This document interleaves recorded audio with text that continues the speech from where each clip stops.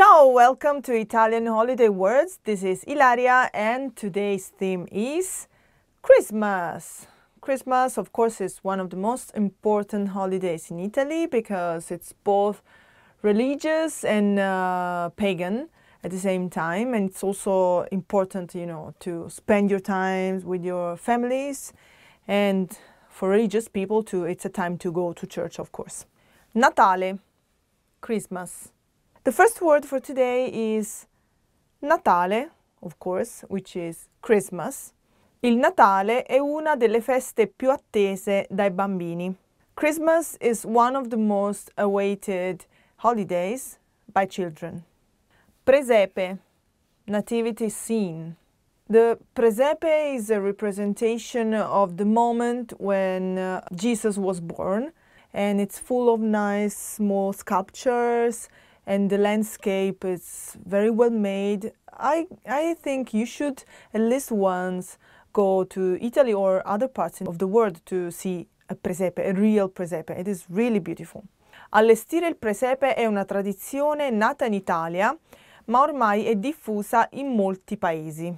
Setting up a nativity scene is a tradition born in Italy, but today it is widespread uh, in many countries.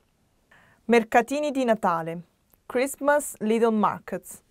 Mercatini di Natale.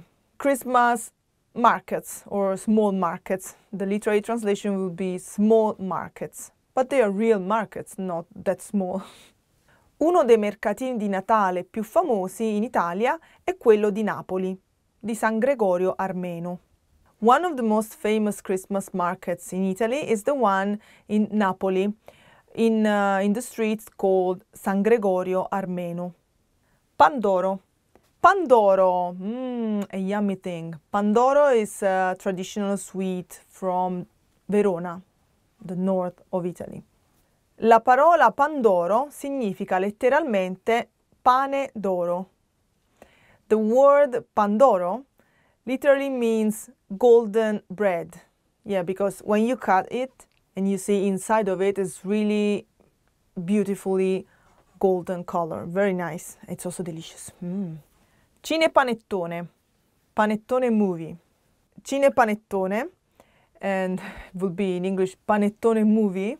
I cinepanettoni sono film italiani comico-demenziali che escono al cinema durante il periodo natalizio. Cinepanettoni are Italian comedy movies uh, which are released during the Christmas period.